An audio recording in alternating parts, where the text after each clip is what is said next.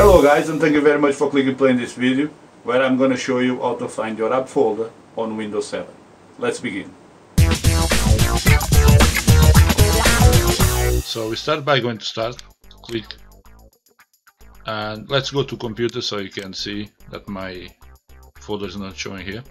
Go to C drive and under users, computer name and you can see there is no app data for me to find example the Babylon folder or any other uh, malware or programs that we're trying to remove from our system.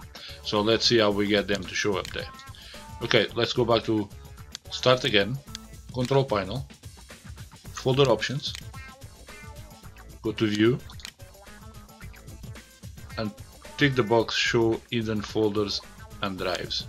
Click that. Now see what happened here. When I click apply, will flash and there is our AppData folder.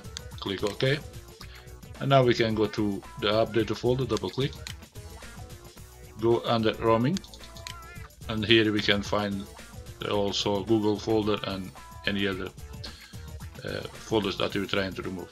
Now remember that before you perform these steps you must go to control panel to find if that program has a removal option otherwise you can corrupt your system. To see the video how that is done simply click on the link showing on the screen right now.